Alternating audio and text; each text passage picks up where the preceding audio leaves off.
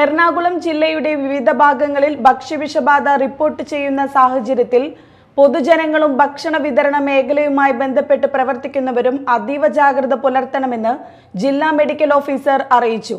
ഭക്ഷ്യവിഷബാധ ലക്ഷണങ്ങൾ കണ്ടാലുടനെ ആശുപത്രിയിൽ വിദഗ്ധ ചികിത്സ തേടണമെന്നും നിർദ്ദേശമുണ്ട്. എറണാകുളം ജില്ലയിൽ ഈ വർഷം പായിപ്ര നോർത്ത് പറവൂർ മാങ്ങാട്ടുമുക്ക് വടവുകോട് ആലങ്ങാട് തൃക്കാക്കര അങ്കമാലി എന്നീ പ്രദേശങ്ങളിലാണ് ഭക്ഷ്യവിഷബാധ റിപ്പോർട്ട് ചെയ്തത്. കഴിഞ്ഞ ദിവസം ആലങ്ങാട് ഒരു പരിപാടിയിൽ നടന്ന ബിരിയാണി ചലഞ്ചിൽ പങ്കെടുത്ത നൂറ്റി എഴുപത്തിയഞ്ച് പേർക്ക് ഛർദി വയറിളക്കം തുടങ്ങിയ ലക്ഷണങ്ങളോടെ ചികിത്സ തേടി. സ്ഥിതിഗതികൾ നിയന്ത്രണ വിധേയമാണ്.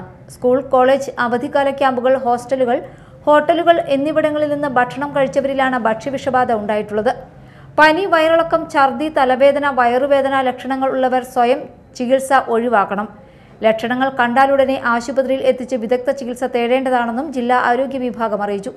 പച്ചക്കറി മീൻ മുട്ട ഇറച്ചി തുടങ്ങിയവ പാചകം ചെയ്യുമ്പോഴുള്ള അവശിഷ്ടങ്ങൾ അടുക്കളയിലോ പരിസരത്തോ കൂട്ടിയിടാതെ യഥാസമയം പുറത്തു കളയണം. ഈച്ചശല്യം ഒഴിവാക്കണം. ചീഞ്ഞ പച്ചക്കറികൾ പഴകിയ മീൻ മുട്ട ഇറച്ചി എന്നിവ ഒരു കാരണവശാലും ഉപയോഗിക്കരുത്. പഴങ്ങളും പച്ചക്കറികളും നന്നായി കഴുകിയതിനു ശേഷം മാത്രമേ ഉപയോഗിക്കാവൂ എന്നും ആരോഗ്യ വിഭാഗത്തിന്റെ നിർദ്ദേശത്തിൽ വ്യക്തമാക്കുന്നു. Media time Kochi.